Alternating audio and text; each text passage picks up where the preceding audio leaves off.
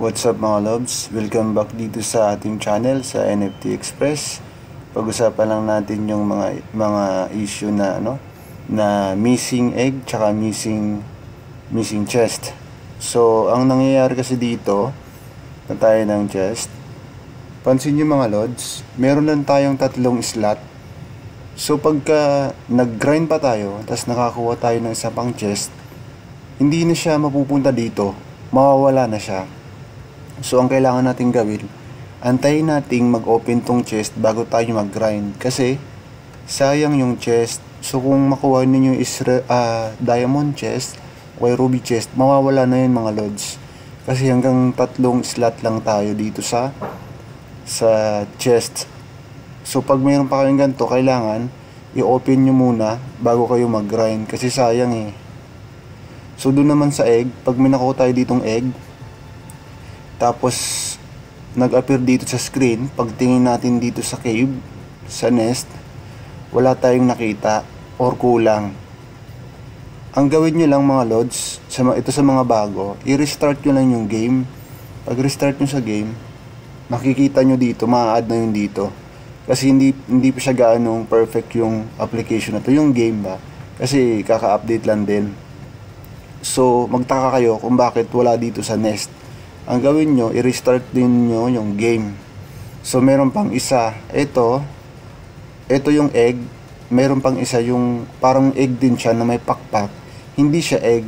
Kaya magtaka kayo, hindi siya ma-add dito. Ito yun, pakita ko sa inyo. Ito, para alam lang din ng mga bago. Ayan, ito siya.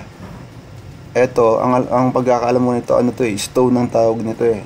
Pag may ko yung ganito, hindi to egg, hindi hindi siya egg na may dragon sa loob. So ayan na, pag may naka, pag may nakuha kayo dito na egg na may pakpak, hindi siya egg na may dragon sa loob. So ayun, pag nagbukas kayo nitong chest, nakakuha kayo ng egg, pag tingin nyo sa nest wala, ang gawin nyo, i-restart ninyo. So yung chest naman, pag puno ito, pag puno pa tong chest ninyo, kasi meron tayong 3 slot, nag-grind kayo, nakakuha kayo ng chest, yung chest na nakuha ninyo na pinakahuli, yung nandun sa grinding, mawawala yun mga lods. So, ang dapat gawin natin, mag-open muna tayo ng isang chest bago tayo mag-grind kasi pag nakakuha tayo ng chest, sayang na yun. Hindi na, hindi na natin yun makakukuha. Mawawala na yun. So, ayun lang yung video na to mga lods. Quickie lang to. Para lang to sa mga bago.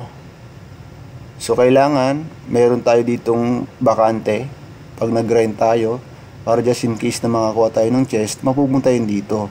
So, kung walang bakante, nag-grind tayo, mawawala na yung nakuha nating chest dun sa sa mission. So, sa egg naman, pag nakakuha tayo ng egg, i-restart nyo lang yung game para makita natin dun sa nest yung egg.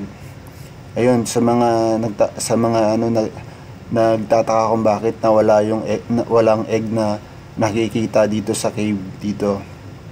So ganun lang, i-restart lang yung game para makita yung egg.